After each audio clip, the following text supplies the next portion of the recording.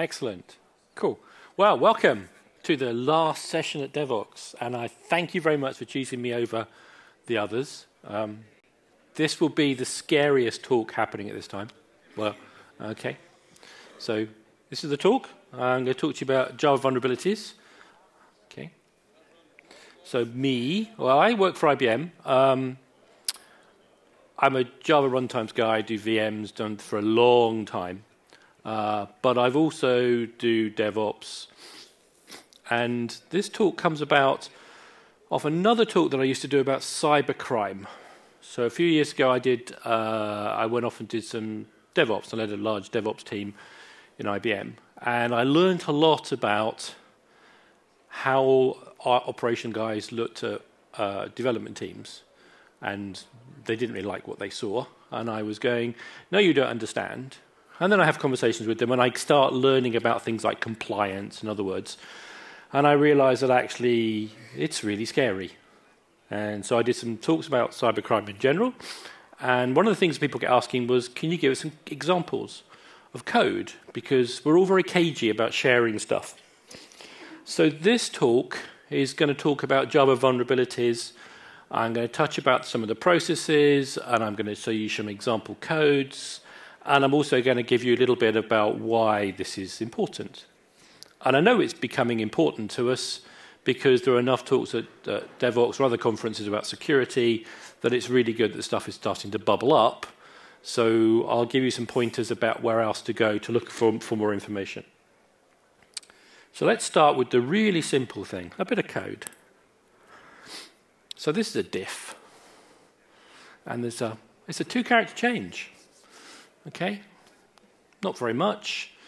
Okay, just a piece of code. You wouldn't notice, would you? It's a corner case. There's this bug in parse double. If you pass in some text, and that text has that particular number, 2.2 blah, okay, uh, then the code, what's parsing the code, will loop forever. Just that, that number. Okay? And it was found and reported 2001. So what? It's just a weird thing, okay? And it just sat around for 10 years. But it turned out that actually it was a really, really good bug to bringing systems down. Because it turns out that we have lots of places where doubles are stored in strings and get parsed. And those doubles can come in from all sorts of places.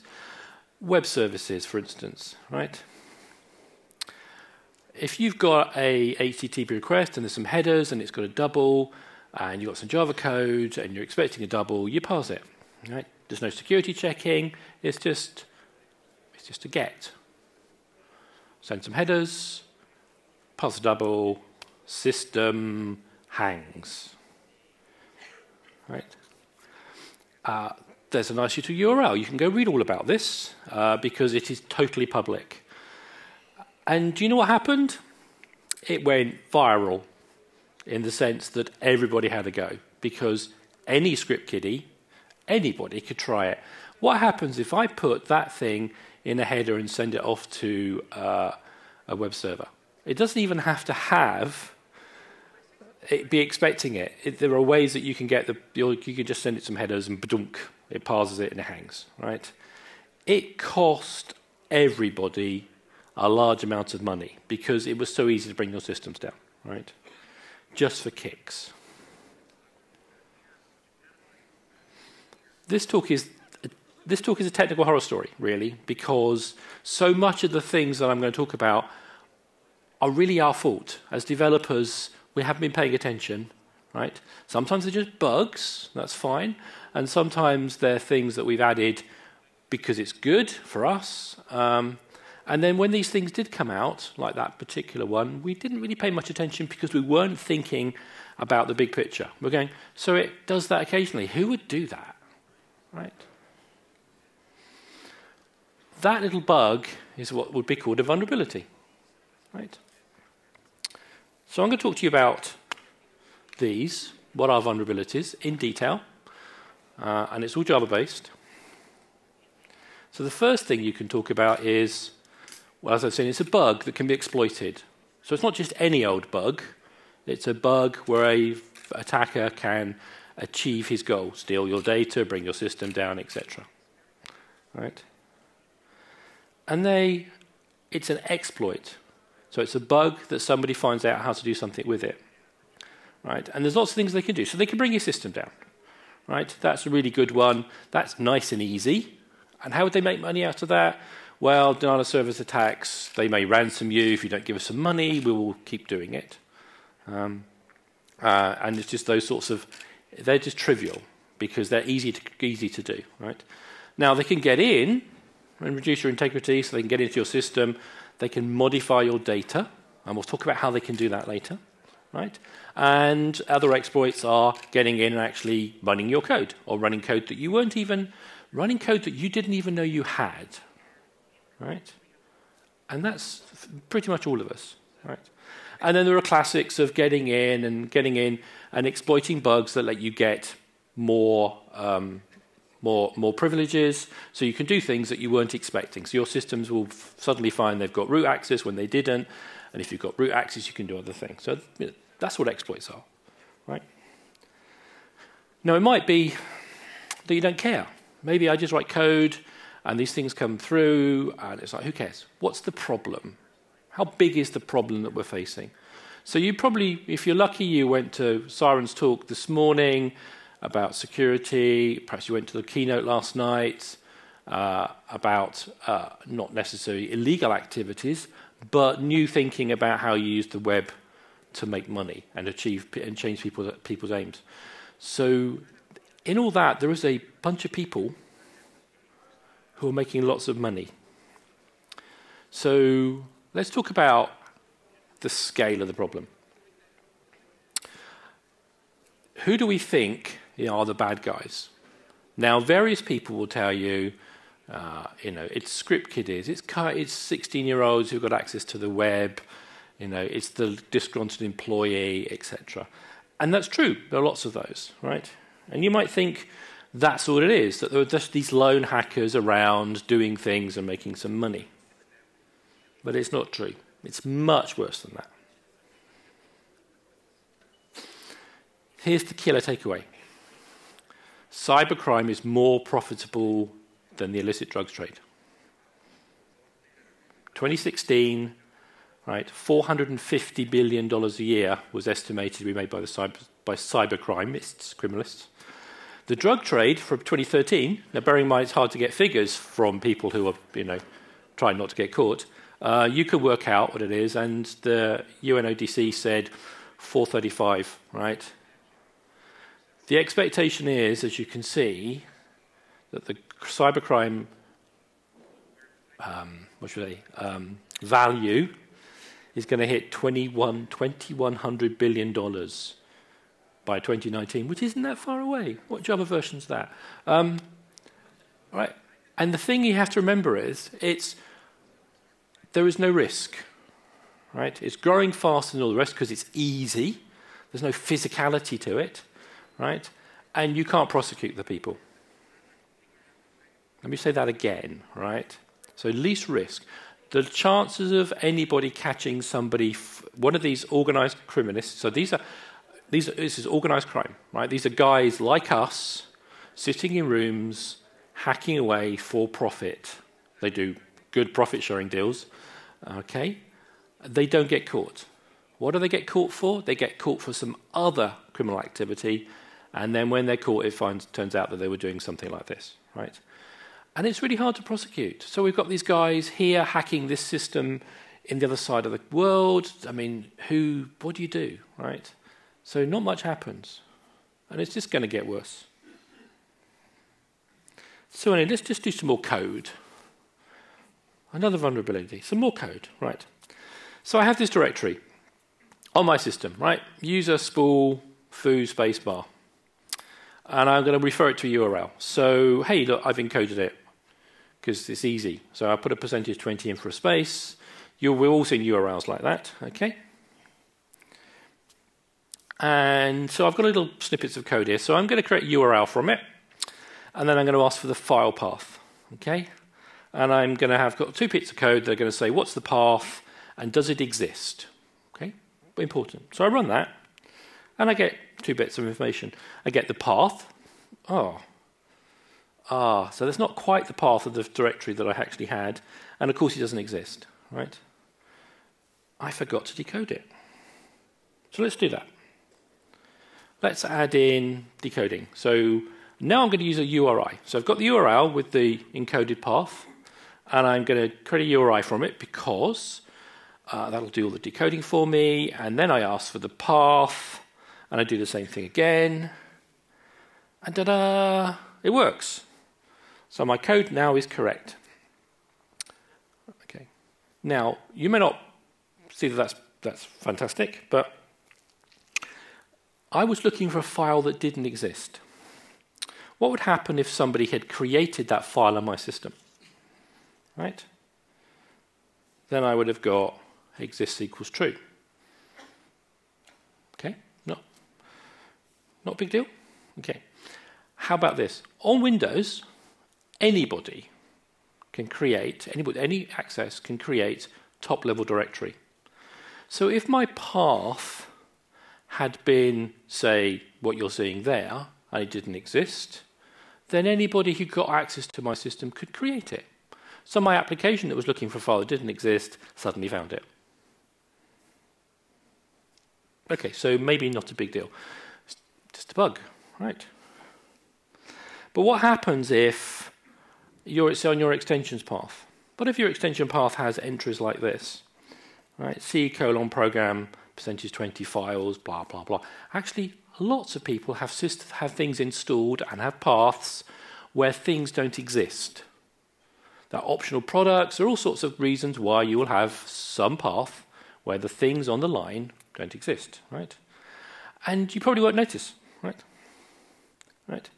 So if we had a problem in the JVM, say with the extensions directory, where we didn't decode it, then if somebody created the path because they got access to the system, they could get you, they could get your application to run code, or at the very least, because they they're putting something into your, your into your class path or extensions path, they're now allowing you, they're now forcing you, that whether you know it or not, to go visit what they've installed. It could be classes, it could be libraries, right? If it's found on the search, path before what you expected, that gets used. One line. Right? Now, it's not quite what actually happened, because I'm not going to tell you. There's only one example in all this where I'm going to tell you what actually was real in de detail. Everything else is going to be slightly obfuscated, right? And that's, that's for good reasons, right? But there was a bug similar to this in the JVM, right? So the thing I want you to start thinking about is when you hear about vulnerabilities and exploits, exploits are the bringing together of all these little tiny weaknesses in your code.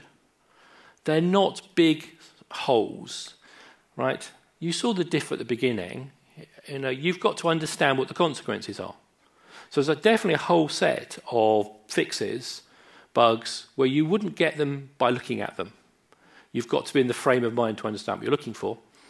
But there is a bunch of behavior that we do that you would spot and you would realize once you've got your head around it that they were bad things to do. And we're going to talk about those as well. So, okay, so vulnerabilities, tiny bits and pieces, um, and it's the joining together that makes the exploit, okay? That's great. So how do they get at these exploits? How do they find this stuff out, right?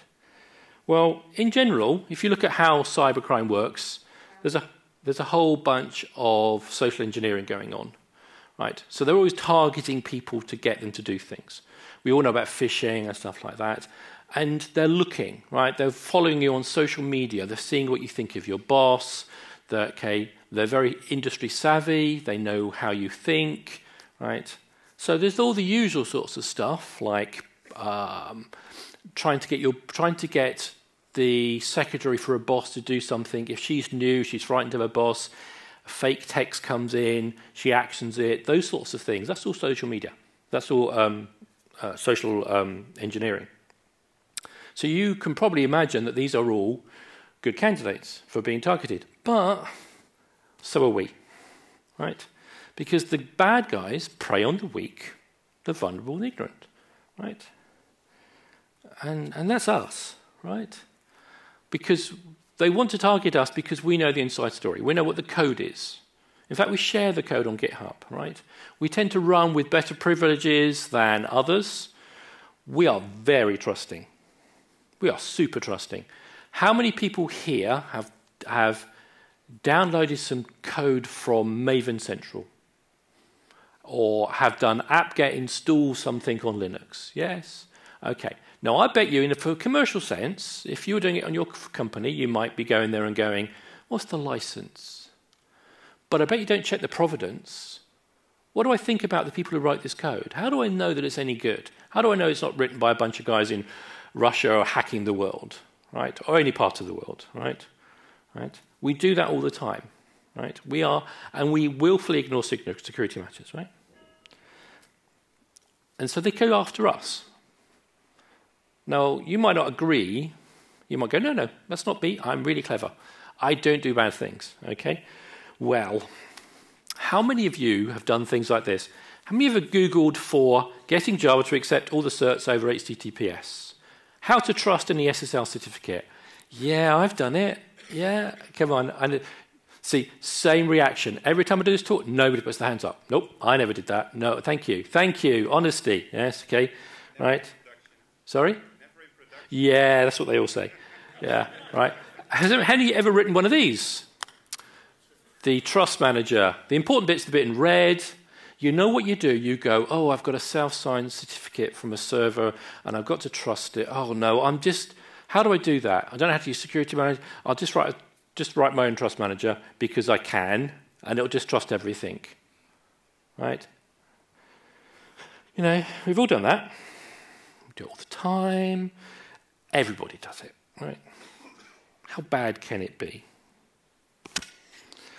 I did a GitHub search for Implements Trust Manager a couple of years ago, and 72,000 hits. Not all code, some text, but I think you'll like some of the text. A very trusting trust manager that accepts everything. A very friendly accepting trust manager factory allows anything through. Some of this stuff is in the code that you may have downloaded when you put a dependency into your Maven POM because that's what we do. Right? So it turns out that this sort of stuff, this feature that we do, we can add to the list. So it's not just bugs, it's also features. It's things that we've added in for our own benefit are discovered and exploited by the bad guys. Right? And they're out all the time. There are good guys, white hats, researchers, who are trying to find these things for us, all these, all these vulnerabilities. Very inventive, looking at ways to join things together to make things happen. But the bad guys are out there too, and they are super organized, right? They are out to get us because they make loads of money and nobody's stopping them.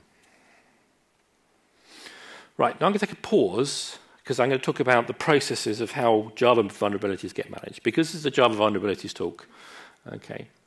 So I'm going to talk about this first, and then we'll go back to some more code, because this is it's important to understand how this works.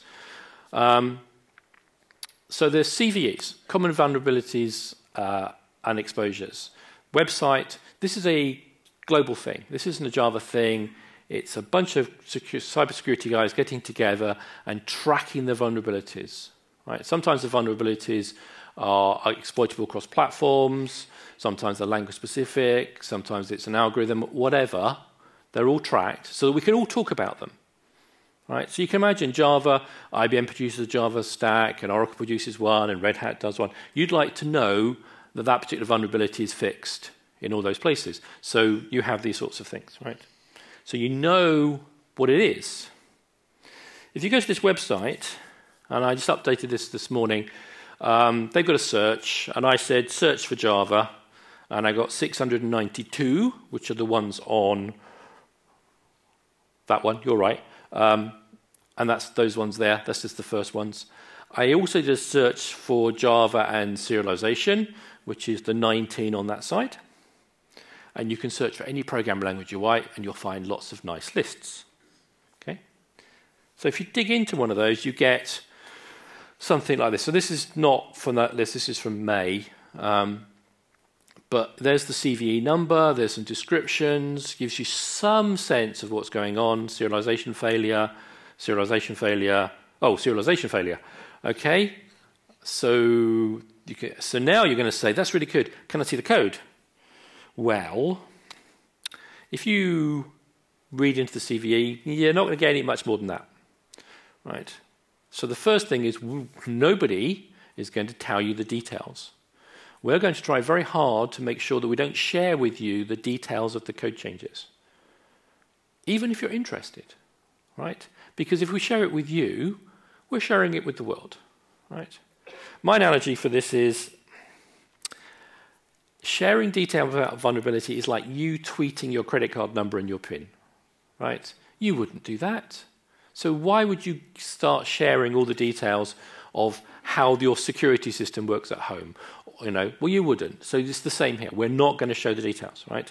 Well, but what we can do is help you understand how to assess the, the problem, right? So CV, CVSS, you can see all the words. Basically, there's a bunch of guys who manage all this and are trying to assess the, the um, vulnerability from a whole bunch of things, from a whole bunch of points. Okay? And one thing to point out, because I've got it in red, it's not just IBM doing this, but temporal. So we'll try and these CVEs will get revisited as things get discovered. So you come in one day and you go, it's a low score, and then maybe something will happen and then the score will go up. So it's not fixed, right? And there's lots of things about the vulnerability that we're going to talk to you about. So we'll talk about uh, the attack vectors, which I'll talk some more about that, and as you can see, confidential impact. What's it going to? How easy is it to do? What's the what's the impact if it gets get through, etc., etc. Okay. The assumption is that you are behaving normally, in the sense that you have some willingness to be secure. If you're not willing to be secure and you run everything under root, and you you know then forget all this because you wouldn't they won't be able to assess it for you, right? But you can imagine lots of effort goes into trying to assess the impact because we've got to put effort into fixing these things, and you've got to put make some decisions about taking the update. Right? So we'll send out, Oracle will do CPU advisories, IBM, if you want Java, we've got security bulletin, so some more links there. Information comes out telling you that there are these high impact severities that are going to be fixed um, in a particular release. You can go to the website, the CVE website, and find out what the details are. You won't find the code, and if you want to find the code, you have to go work hard to find that. Okay. So that's how we tell you, right, the process. If you find one yourself, then report it responsibly. As I said, don't share it. Okay, There's, there are you, when you get the slide deck on when I put up on SlideShare, you can take the links if you if you want to go do it. Report to the various organisations as you care. Um, but please don't shout about it, right? Don't mail it, right? Don't put it on forums.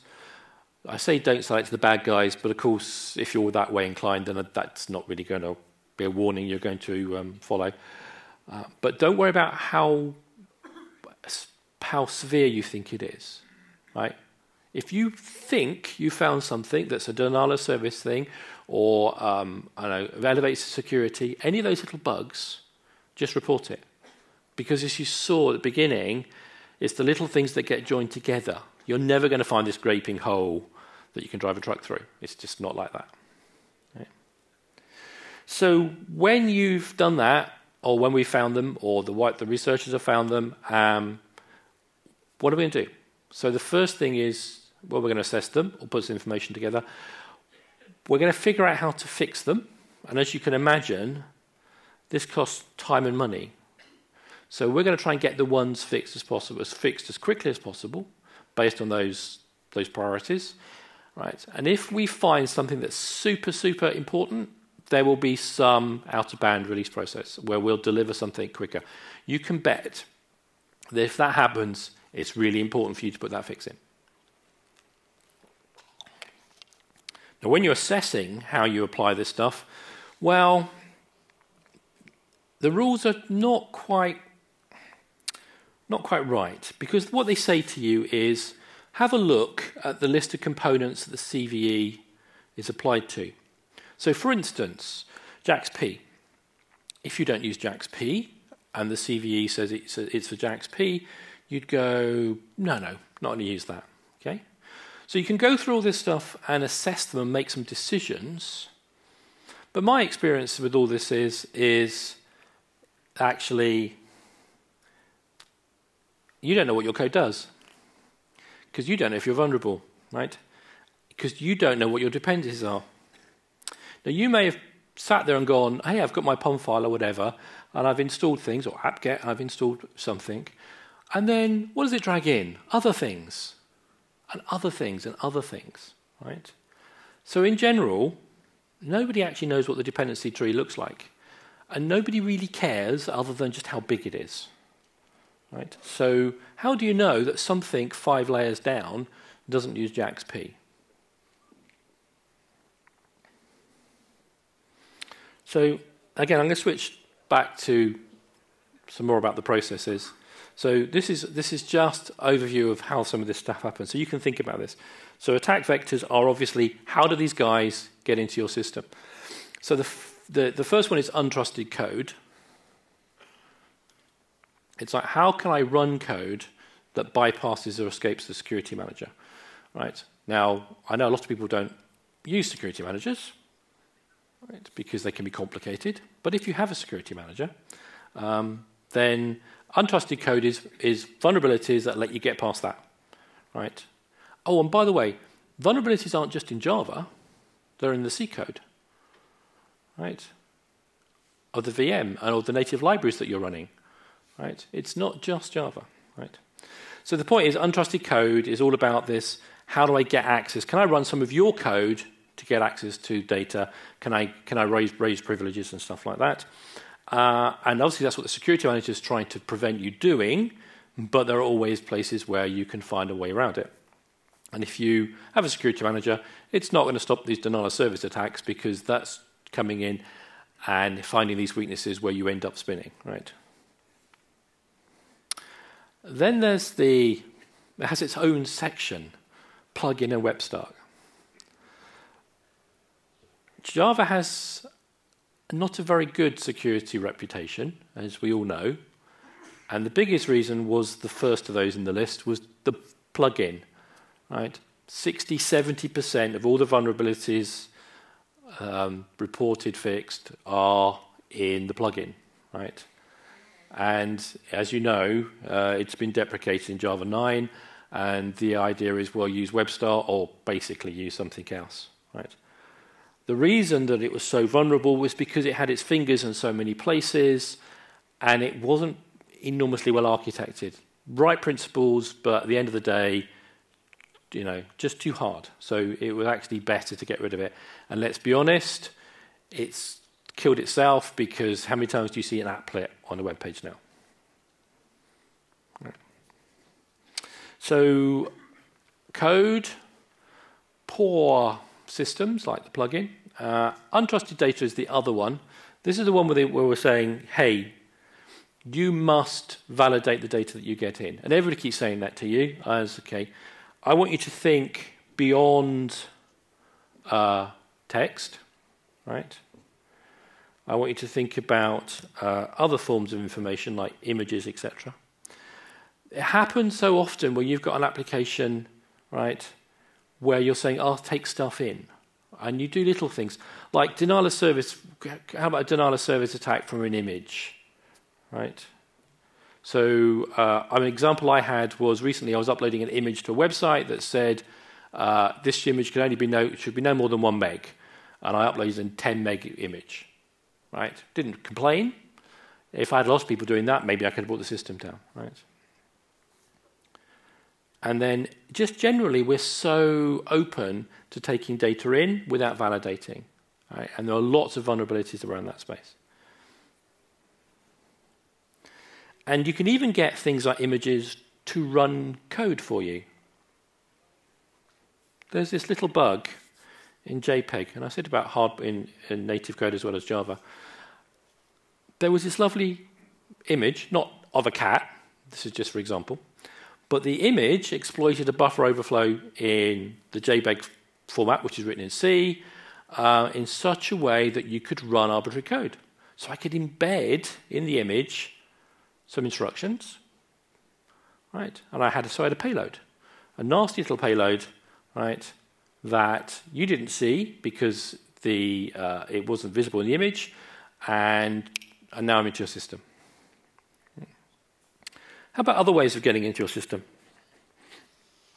Okay, so this is complicated code, but you will recognize this. Well, maybe you won't recognize this, we'll see. So, the top blue box, so this is a real one. This has been around in the press. It's been well defined, which is why that URL gives you the will take you to all this information. So, blue box at the top, content type, and as you can see, it's all a bit strange. It doesn't really look like a content type at all. And in fact, it seems to be doing some sort of runtime exec in there, right? So actually, it's not bogus. It's in this form called OGNL, right? And if you look carefully, you can see at the top line it says multipart slash form dash data. Right, but that's a programming language, right? And Apache Struts uses this. So what Apache Struts does is it went, does the content type of this request match multipart form data? Yes, because it did, because it saw it in there.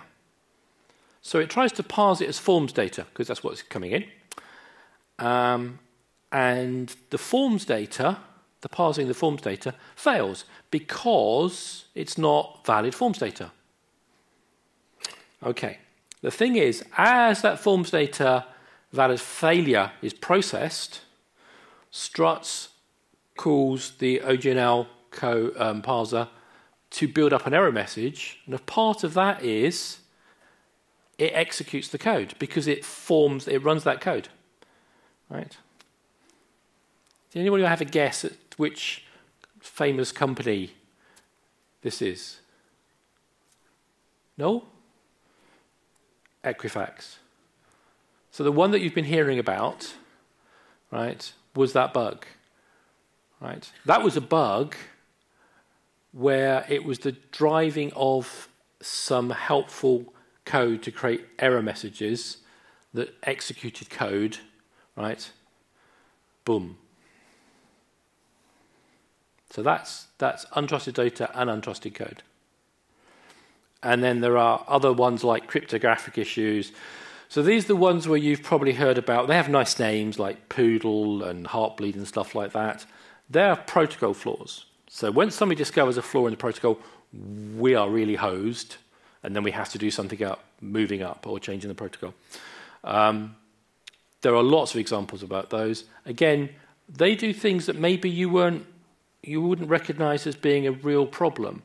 But so, for instance, uh, Heartbleed was one where you can make a request to a server and you're supposed to ask for four bytes. But if you ask for more than four bytes, you got more than four bytes. And what you basically got was contents of memory. And if you keep asking and asking and asking, then you just get random sections of the memory. But of course, it's memory. So what's in memory? Passwords, access, all sorts of information, customer data, right? And by the user being the the bad guys being persistent, they actually stole the data, right? So uh, Java, lots of implementation flaws, as you'd expect, in other programming languages as well, right? Uh, and these cryptographic things, well, you can have denial of service, um, but basically, um, if there's a problem in the protocol, then we have a problem because people, everybody, everybody can understand the protocol. It's not a flaw in the code; it's the flaw in the implementation, right? So cryptographic issues that turn up on the list are things that you have to pay attention to. Right? And then the last one is about local vectors. So again, this is one where people go, no, this isn't possible. This is where you're saying the only person who can actually run this or use this is the person who has access to the system, right? And if you think about it, you'd say, well, if I have access to the system and I have root access, I can do anything, right?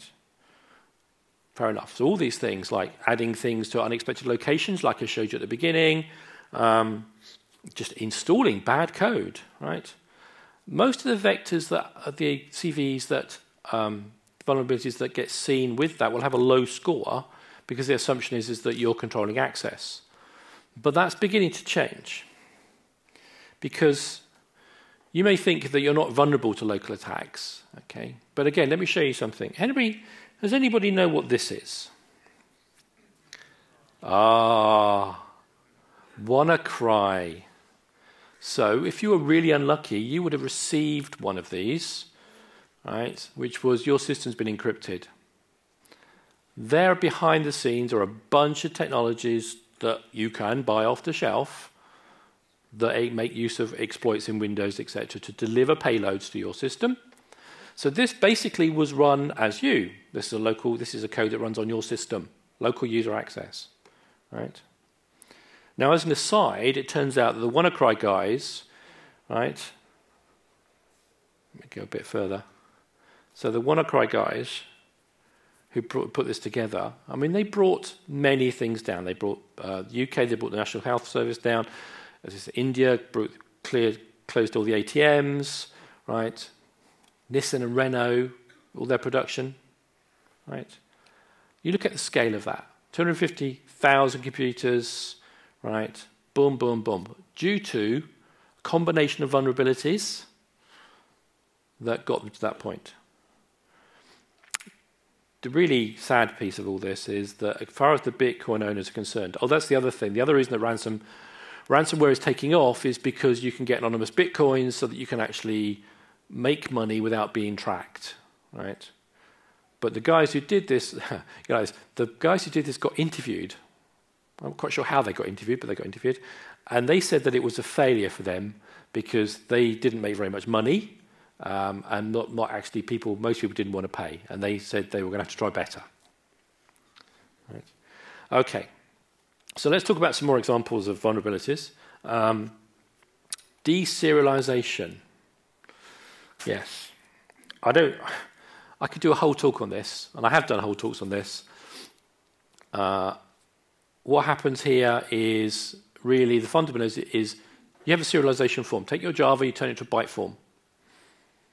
If your byte form is exposed, somebody can get in the middle, can get access to it. And amazingly, some people take serialization as a form and they stick it out in cookies because it's easy, right? So if your serialization form is exposed, then people can hack it. And if you're if you've got read objects in there, so if you're basically if you've got an object, a class that's got fields that are object types, then then you're dead because people can, you can legally get your object to be instantiated um, to create other objects. And what they do is this thing called gadget chains, which is basically scouring the world, the code, looking for places where you have some piece of some piece of Java code that ultimately gets you to doing something like um, runtime.exec. So if I find a piece of code that does that, can I create a serialized form of objects that will end up running that. Okay, clever to do that, and then serialized form, inject it into your payload, and away you go. Right?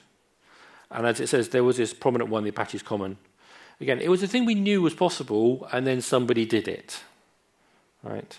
So, uh, as in Java this year, they said about the, the whitelisting, so that that will be that will help you manage it.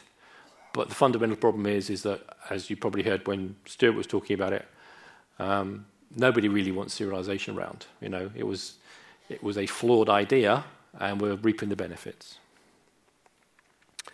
Uh, so it's quite hard to do serialization exploits. You need to know what you're doing. You've got to work hard. Um, but there are other ones where it's really easy. Um, a particular well-known bank or a banking type company uh, a few years ago did something rather silly. They decided that it would be good to have the debug available on all their servers. so that it was easy to debug remotely. Uh, but when they said remotely, they didn't realize that they'd exposed it on the internet. And so this researcher, doing a simple port scan, found the JDWP port and went in. JDWP has no security controls.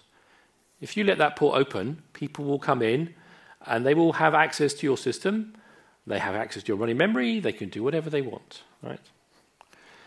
The reason I put this on here is, is it's not even complicated things or even one-liners. It's simple behavior that we do, things that are good for us, things that we do that help others, right? Right. So I have some more code uh, just to explain how we're helpful. So here's a class. Um, there's got a properties uh, object at the top. And it's going to do some helpful class loading for you. So it's got a map.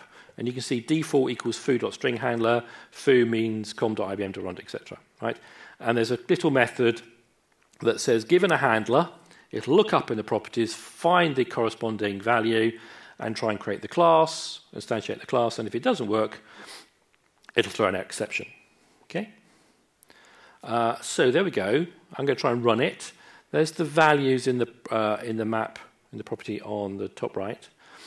So if I run it the first time and I say let load class helpfully for default, right? Ooh, that works. I get the class because it was in the map, right? If I do it again um, and I use foo, okay, what do I get? Oh, I get class not found. Because even though I had it in the map, I forgot to have it on the class path. Okay? And I get an error back. So it says class not found, could not create class for handler foo with that value. Okay? Cool. What happens if I ask for something that's not in the map altogether? How about if I try hmm? And I run this, what do I get? Ooh. I get a nice little error message that says for that property, it couldn't find a class with the value of my extensions path.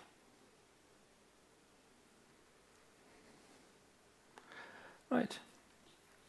Oh, let's go back. Let me finish this off. So the reason that, that happened was because I didn't show it in the code, because that would have given the game away. But in reality, real bug, reality, the object, the property object that I created was backed by system properties. So anything that wasn't found in it it went down the next level, right?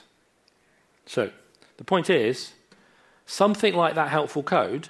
So if I can call your code, however I do it, and you're helpful and tell me this thing doesn't work, here's some more data to help you figure it, uh, I now give away secrets. I'm giving away full access to my system, right? So you can see things, right? I can get code to execute in your system. I can tell, get you to tell me what uh, the, what the information is about your system, I can do all that. Right? So I can add to this list, it's a developer aid. So your bugs, your features, your helpfulness are all considered to be vulnerabilities in the right circumstances. And as I said at the beginning, we have all these guys out who are searching for these things, right? So the question now is, what are we going to do to change this? Well, you can't change overnight, but we have to be better educated. So I'm going to quickly go through the last few minutes the information that's available to you, right? So one really good thing is this, the CWEs. This is like patterns of anti-patterns, but it's a really good website. So many of bugs that we see as vulnerabilities can be found as being covered by this sort of thing, going, oh, look, there's an example of why you shouldn't have done it. Right? So I thoroughly recommend you go looking at that and just wander through. Start looking at it and seeing if you can find code patterns that, for things that you've written. Right? That's obviously just, the beginning of it. There's a lot more. Um, there's an example. Um, so that's things like internally hard code passwords for the back end, which you can see at the bottom. If the password equals this, then it's okay right? Don't put it in the code. Don't check into GitHub. Okay, that sounds like a fairly obvious one, but there's lots of others where you're going to be making basically the same obvious mistake and maybe you didn't know it. Um, the CWE things, they, they have this wonderful Pernicious King, Kingdoms thing. You'll probably have seen that list, and if you haven't seen it already, you'll have seen it in different types around.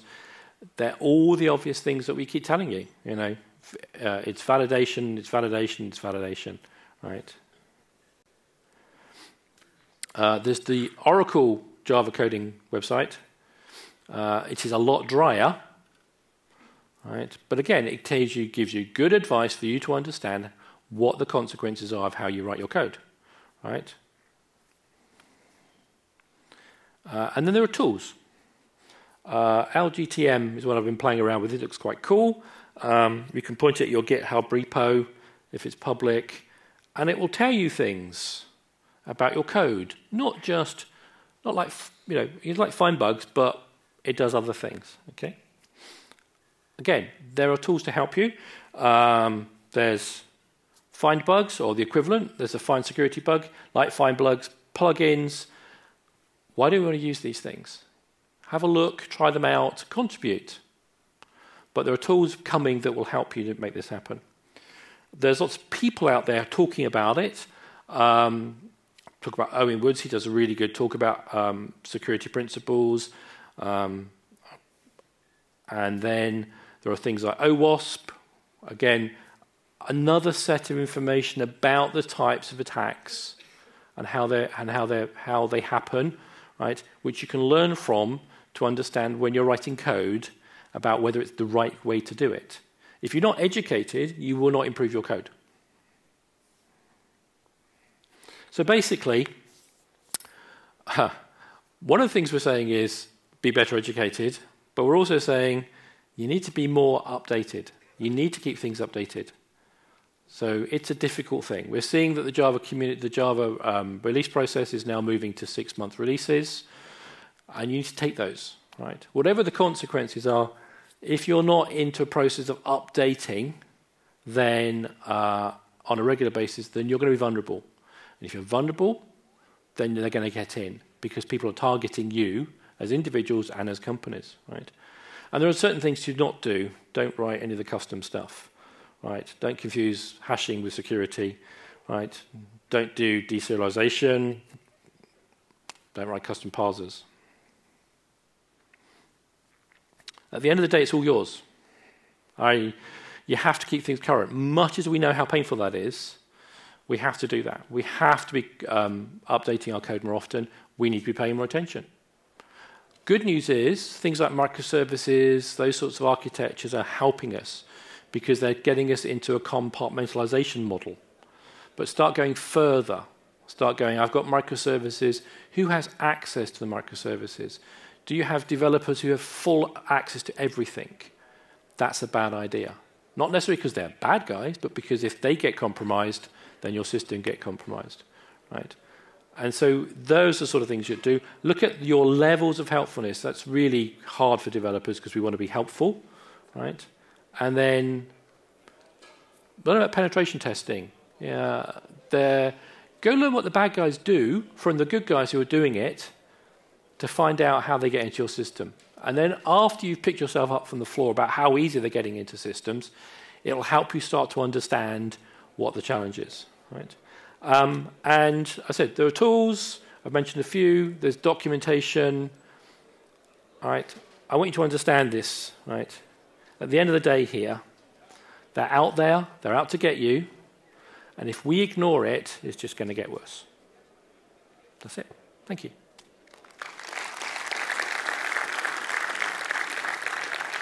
So thank you for listening to me on the last part of Devoxx. I will be here if you want to ask questions, and then I'm going to go and get on a plane.